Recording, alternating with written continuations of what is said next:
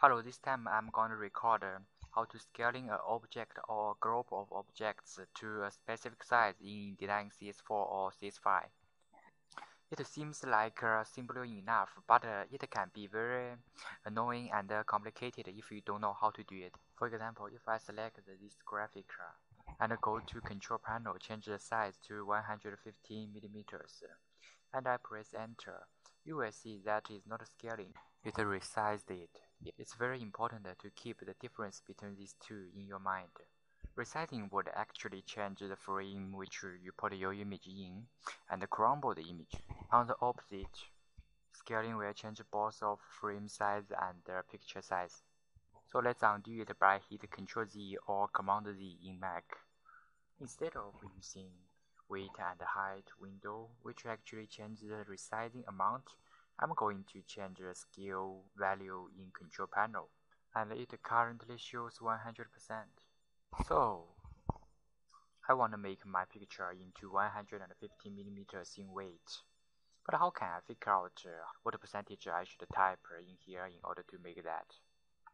Well, the good news is you don't have to do any math at all. All you need to do is just type 150 millimeters course InDesign is smart enough, it will automatically figure out percentage for you. Press enter and we can see it actually scale whole thing down.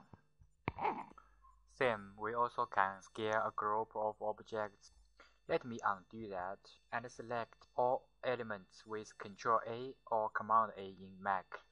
And I'm gonna scale all of these down as a group of objects. We don't have to group them cause we already selected all of them. Come up to scale value and uh, type 115 millimeters, hit enter, and it scaled everything in that page. Typing absolutely value into the scaling window on the control panel is not obvious. Most of beginners uh, haven't realized they can do that, but uh, it is very powerful when you have to scaling something. Keep that in mind and you can work professional in no time. Oh, there is one thing maybe you also want to know. If you want to know the true percentage, just need to double click the picture and uh, once you get the direct selection tool, click again and uh, you can see the image be scaled down to blah blah.